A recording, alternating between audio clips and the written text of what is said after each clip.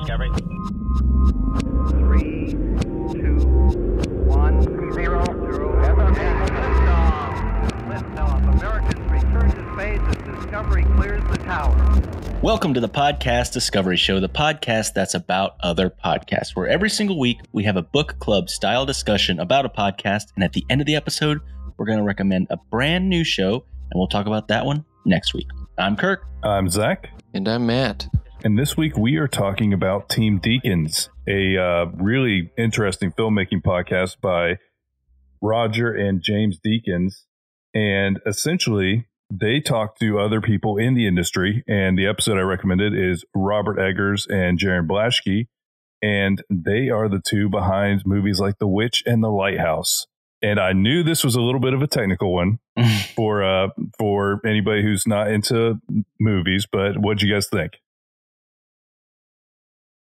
It was interesting up till an extent for me where I just glazed over a little bit. Even you did? Even I did. Man, they this just is your lane. there was a point where they just started listing numbers and I was like, I don't know what these mean. Okay, I thought those would at Yes. least mean something to you guys because they didn't No. And this is you have to be like a photographer level numbers because what he was talking about Right. was like exposures and light levels uh, because they were shooting in film. So Yeah. yeah. those meant nothing to me except I knew he was talking about exposures. It basically just showed me that he knew a lot more about what he was doing than I do. I guess that's a good thing, you know? Which is good Yeah. to know. Yeah. Good to know that you're not the only person who knows anything. I personally was very disappointed because I thought this was a podcast about like church drama and what goes behind what goes on behind the doors uh, with the deacon meetings and stuff like oh, that. okay. Yeah. And then it was about the movie Some low level church drama. that they've made.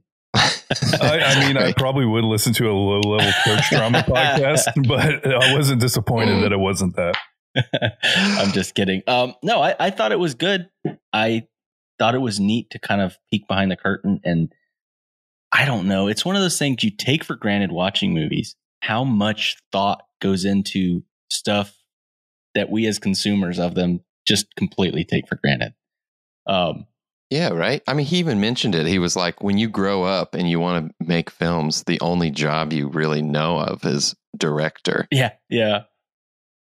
Yeah, and uh, I thought Yeah. that was a really interesting thing is both of these two had been working in the industry kind of grinding away for 10 years until they Yeah. had their first kind of hit, you know, cuz I think The Witch did pretty well.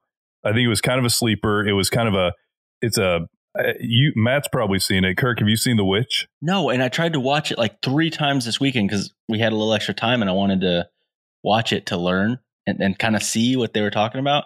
So I didn't want to watch The Lighthouse again. We're going to get to that because I definitely want you to tell Uh, the story of watching The Lighthouse. Um, but it's this really interesting period piece. It's all very stylized. So there was specific choices the whole time. It kind of feels in a lot of ways like The Lighthouse, where it's kind of a set piece. You're basically on this one farm the whole time. And then the how they speak in it's really interesting. All of the the set design and everything, you can tell that both of these two had kind of gone through different levels of production and really refined what they wanted. And uh, Robert Eggers was talking about how when he was kind of working these other jobs as like a set assistant or a production guy, he would just kind of be constantly thinking about the witch. And so by the time they actually got the green light to make this movie, he knew every possible question that could be asked about it. And so it was Yeah. just this very, very specific and very intentional film. But it's a really good one. I thought it was a, a an interesting take on this because it's no spoilers because it honestly is worth watching and it has There's a the witch best- in it. There is a witch in it. the uh, the first scene of that movie goes really hard and then it and then it kind of settles into drama a little bit.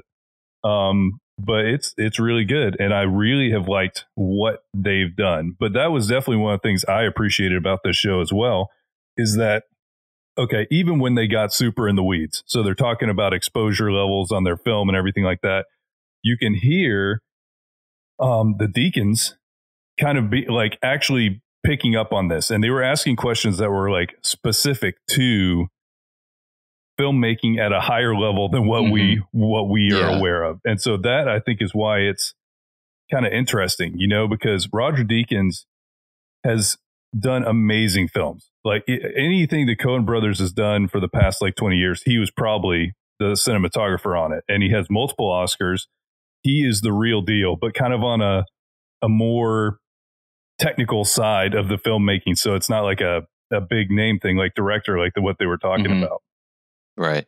Well, and that's what's funny is you you don't realize that like DPs are almost more in charge of what you see in a film than than probably the director in a lot of regards because they're they're deciding where the camera goes, they're deciding how the camera moves, they're deciding what the light looks like. Like they're deciding so many things and the director is more in charge of like the action and stuff of like how everybody interacts with the frame it's just so interesting because that's it's exactly the the cool thing is you have these teams of directors and DPs and I'll be honest I wanted to hear more from Deakins I was like man here he is asking all these questions and and they were kind of like well we've only done two features so you know this is our this is our experience thus far and I was kind of like man Deakins has done like you know so many films Oh, I just yeah. want to be like you tell you tell them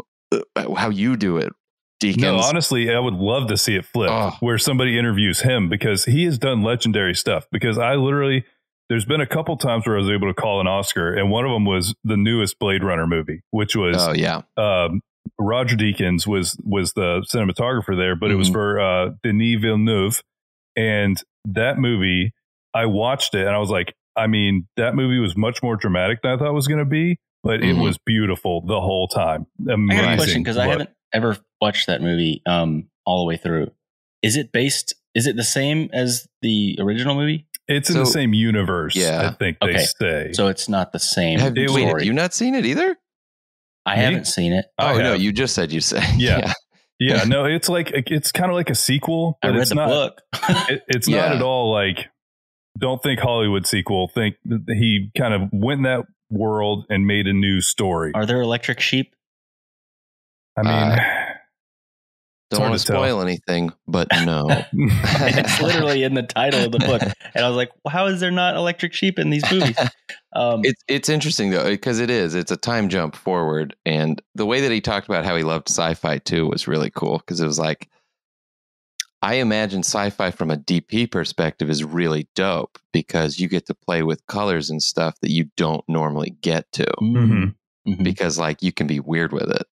But like from a director, which is funny because from a direction standpoint, you have to sort of take concepts and ideas of how people live in the world today and then push them forward without them being like caricatures of what the future is. Otherwise, it risks being like Judge or not Judge Dredd, uh, Demolition Man, where it's like, oh, oh demolition. this is an eye scanner where you look into it and it reads your mind. It's like, okay, that's stupid. I know, and I do know? feel like Demolition Man is a great example of doing stupid well enough that it Yeah. holds up big time. exactly. I love that movie. It's a really good movie that's completely stupid. But I mean, Yeah. what do you like? You you think about the executives at that time, like we're gonna put Stallone and Wesley Snipes in the future, and we're gonna see what happens. And it's like, yeah, I'm I'm down for that. And I think Sandra Bullock was in that too. She was. She I want to circle back around to something you mentioned, Matt. You mentioned how much power and kind of, uh, I guess, driving force a DP can have for a show for a for a movie. And um, I thought that was really interesting. The advice that Eggers got when he was young, he was a young director, Yeah. and a, another more seasoned director said, "Hey, uh, don't get a DP that is older than you or has a lot more experience than you, because he will literally just steamroll you, and this your movie will not end up the way you want it to be." And when and when they when when he said that, you could hear both the Deakins as being like, "Huh," and as though like they they haven't gotten jobs and they just realized that maybe that's why. It's like, oh, these these kids don't want to try and oh. deal with this. But no, I also love the the reason that they kind of met in the first place is because he thought his name sounded uh, exotic. oh Uh, yeah, Eggers thought that, uh, Blaschke. Blaschke was like, "Oh, he must be Eastern European. This is gonna be interesting." And He's like, "Well, I tricked you then, huh?"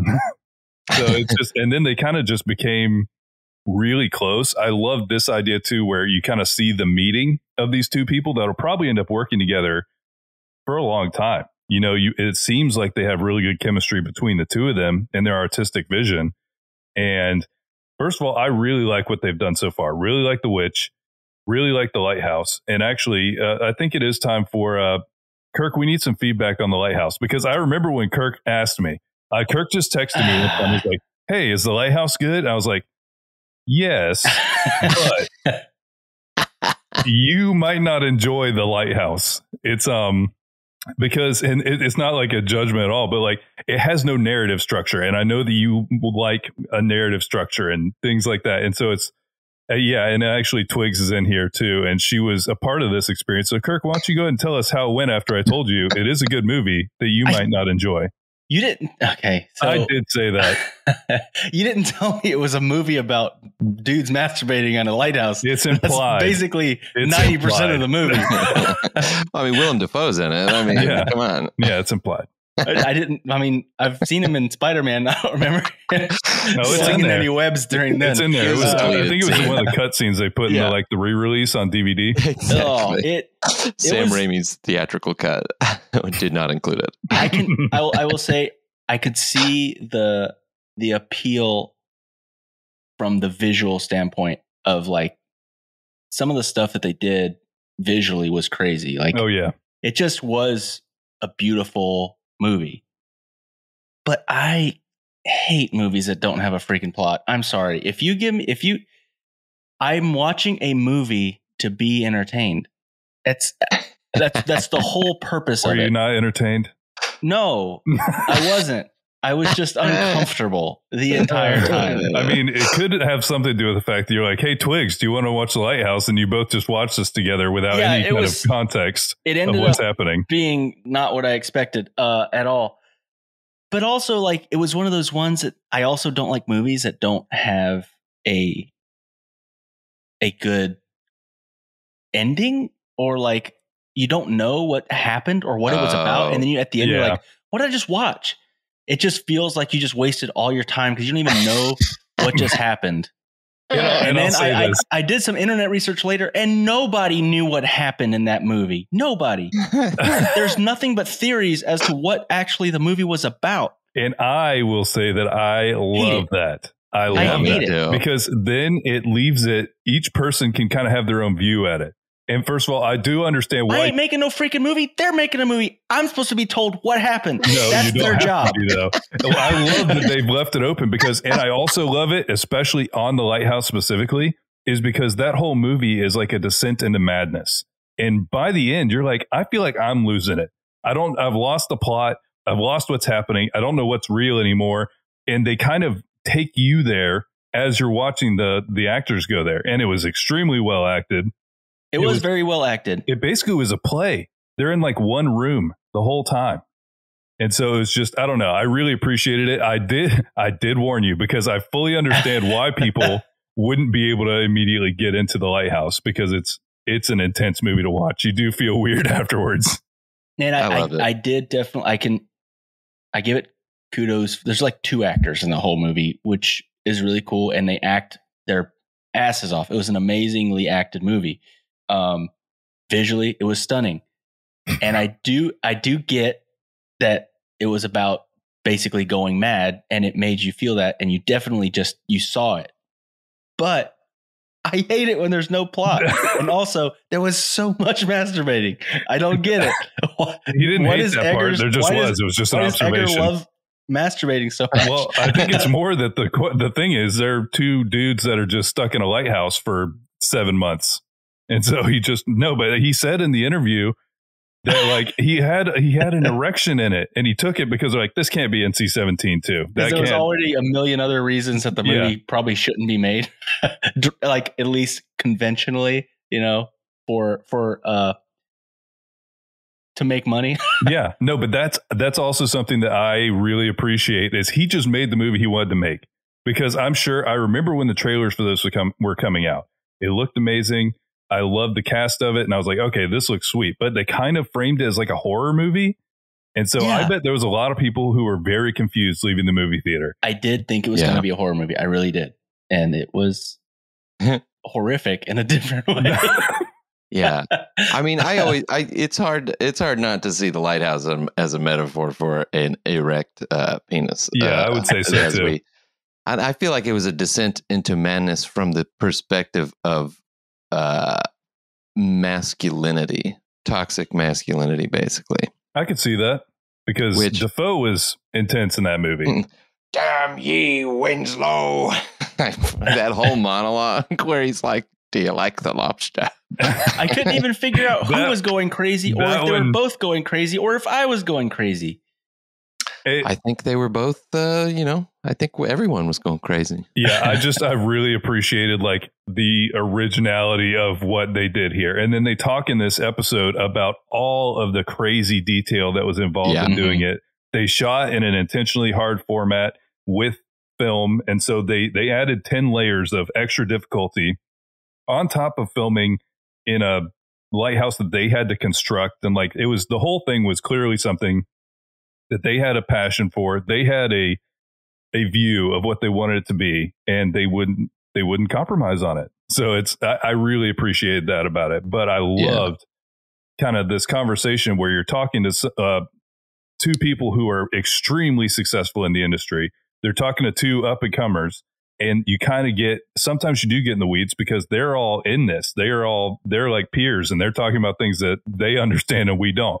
Yeah. but if you really enjoy filmmaking or even if you want to be more involved doing filmmaking i think that you pick up even more from this. If you're trying to learn the actual craft of it i bet there's even more that you can gain from this than us who are just like i i mean matt matt has a lot more experience with uh production and everything like that than kirk and i. I just like movies and so i Yeah. enjoyed it from that level but i think that you can enjoy it even more so if you were trying to dig in and learn. And then I Yeah. read that Team Deakins, you can go on their website and you can just ask them questions.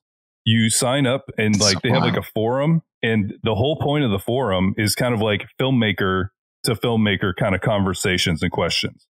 And so I think that this podcast literally just came from that, where they are really genuinely interested in like the craft and in um, putting like resources out there to help other people get involved in it. And all of it was just like, okay, this each like layer I unfolded about like what was happening. I was like, okay, that's really cool too. So yeah, if you're interested in that, you can go and learn from the man himself. Apparently, they're all active on there. It's an active community uh, at their at their website. Super cool. I also really when when they did start just naming those numbers because there was this great moment where he's like, "Let's talk about the specifics," and he's like, uh, "Let's not bore people with that." and it was like, and then 20 minutes later, it's like, "Yeah, we uh we get a graded uh, color Kodak for uh, hundred, you know, blah blah blah," and it, and it started to make sense halfway through, and I'm like, "Ah, okay." But I loved the story of how they they had very low uh ISO basically film Mhm. Like 100 is very low so they had to really light everything like extensively. And i love the image of them just getting blasted. He said what how many watts was that one light? I can't remember, but he said like it was hard to keep your eyes open, and people were in Yeah, sunglasses on set. like if you look at them they probably had little pinprick pupils in the movie which i just loved the image of them just getting go, literally going mad as actors because they're just being basically tortured with light and uh yeah so basically the lower grading it is you'd have to light it even higher up so it was just like i just love that image of willem dafoe being like i can't do this this is ridiculous I hope he um, stayed in character for it, and he was yelling at him like the character from The Lighthouse. damn ye winslow turn that light down I, I love that scene, by the way. The one where he's So yelling good. about the lobster. Oh, and that low angle. Oh, it's just beautiful. Oh my god. It's yeah. Oh, I my it, God. honestly, this makes me want to re- revisit. But I'm gonna I'm gonna rewatch it. I Yeah, don't know sure. if you have seen it, but there's a new movie coming from them. They talk about in this called The Northman. No, that Cannot wait. sounds it, It sounds is a good. Viking revenge Yes. movie. It's gonna wanna- be good. I looked it up because I wanted to watch that over the witch, but it's not out yet. So, uh, Your your trep your trepidation is showing. well, here's the thing. Now that I know who's making this, He's I just worried about the surprised. masturbation. I just will. I'm just going to expect all the masturbation and uh, no plot, but um, I'll still watch it. yeah, the Northman is actually a metaphor for again uh, an erect penis. Cool. Um, so sorry to spoil that, but but yeah, so I, I I really appreciated this one. Uh, if you're into filmmaking or into movies, there is a ton of people that you can check out. Or Because- erect penises. Yeah, I mean, I guess I think there's other things you could do if that was really what you're looking for. But um, but basically, you can look into a lot of this, and because they're cinematographers, there's a lot of conversations with cinematographers. And, but you have like I see John Turturro already on here, and a ton of different cinematographers, yeah. and so you have a lot of choices. Yeah, I would almost say like if you don't recognize names on on there and you're interested in it at all, like Google those names and see what what they've done, and you'd be like, oh, okay, yeah, I'll watch it because usually they're not credited. it's not like directed by, and then Mhm. right under that, director of photography, this guy. This I do kind of love it though because there Yeah. are a couple that, and actually uh, Roger Deakins is one of them that I kept uh, because I'd seen all the Coen movies. And I'm like, these movies are amazing, and you just see keep seeing Roger Deakins, and it was the same thing with um, uh, Villeneuve, same thing, and then um, what's his name, Lube- yeah, the, the one who works with Alfonso Cuarón. yeah, He's another one that just every one he shoots, I'm like, wow. But that is a cool element of this where they aren't necessarily the big flashy name on the title screen, but they No, get a but you'd chance to go on here. recognize it. Yeah, you'd recognize their work. You know, that's that's why I'm like, you should Google them and just check it out because like, there's a great website called All Music where you can go see who mastered tracks, and you're like, oh no, kidding, that guy Hmm. masters a lot of the same albums that I love. You know, and it's kind of the same thing. It's like, oh, that's the It is- person who does, huh? it is funny to see uh or to be you know to get, get a peek at something that we all consume and there's an art that like there are masters of that we don't even know anything about you know or like we don't they don't get the credit that like the actor does or something like that? Yeah, um like like you said like people that mix music or you know there's people that are just they are masters and people in the industry know their name but it's it's interesting because like heck i'm watching a, a weird netflix thing that's about mountain climbing and they're talking about all these super famous in mountain climbing Mm. everyone knows who they are i've never heard of any of these people you know what i mean so it is interesting uh how in every in every field you know there's people that really excel but we still don't know who yeah. they are 'cause and I also really appreciated how they shouted out both his locations manager in the lighthouse, which is Mm-hmm. whoever That's a thanks really their locations obscure one, yeah. manager. yeah. And then a key grip for getting for rigging something and like by name, both of them. And it was like, oh dope. That's super cool. Yeah, and 'Cause they it is. also You're like, oh yeah, the unsung heroes. Mhm. they also said in here that maybe the most important thing in in an entire movie is the editing because that's the Right. that's the final move. That's what makes the movie. Other than that, you've just recorded a bunch of stuff and you try and curate it to see what's going to make a movie. And so I that's do. what i think about podcasting as well is the editing is the most important part you would i'm think just that. kidding Yeah. i'm No, just I kidding mean- no, you're right though. I, I do think it is because we've heard a lot of podcasts that they lose it on the editing and it can lose the whole thing. Yeah. Thankfully, you don't have to edit this one at all. Really, No. We just- are as soon as we're flawless. done. Every time. It's- Boop. we've actually gotten a lot better way at the beginning there was so many edit points Yeah, I'll uh, say that first started. being It's like live- that anymore and having accountability for what comes out of your Yeah. mouth really helps with that. it does help it does help a lot. Well, I guess that brings us to this week's recommendation, and I've got one that um, I've listened to a few episodes, and I wanted to find one that just kind of hit, and this one hit. Uh, the name of the podcast is Not Past It. It's kind of like a history podcast, but it's a pop culture history podcast. So it's about things that most of the stuff we'll remember, or like our parents would. Um, and it's it's fascinating. And the episode that I want to recommend is the LSD no hitter. Uh, let me read the synopsis real quick. Oh, I Doc heard Pittsburgh Ellis. Pirates pitcher Doc Ellis played the best game of his career while tripping on acid. On June 12, 1970, Ellis pitched a no hitter. Simone tells the story of his trip and what it can teach us about psychedelic drugs and performance anxiety. Huh. Well, I'm hyped. Interesting. I've never had I'm a into deep it. dive on this one. So I knew the story in general that somebody was on LSD and threw a no hitter. but I, I, can't wait to hear the. It's the just detail. it's a really good story. It's a crazy story. There's a lot of stuff from him from like a different interview because I don't think he's alive anymore. Um, I could be wrong. We'll remember when we listen to the podcast again. so uh, don't fact check me on that. But um, yeah, it's a it's a crazy story, and it's really cool to hear his his take on it. So yeah, Um, that um, is uh, not past it. The LSD no hitter. And remember, There's always more to discover.